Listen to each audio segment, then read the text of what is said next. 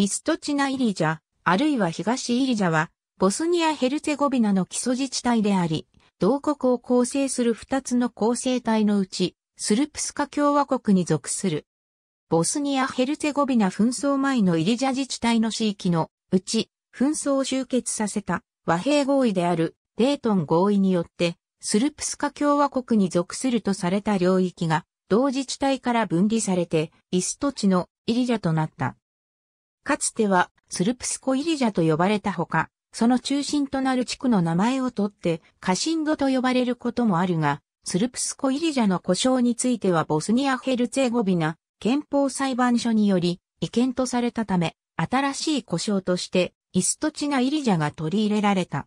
スルプスカ共和国の法的な首都であるイストチのサラエボを構成する6つの自治体のうちの一つである。同じくイストチのサラエボを構成する自治体であるイストチのノボサラエボと合併する案もある。